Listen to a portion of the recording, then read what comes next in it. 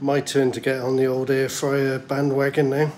Tried to get the Ninja, but uh, they've all sold out, Black Friday and all that. But anyway, gone for the Tower Vision, double setup. Looks pretty good. Excited.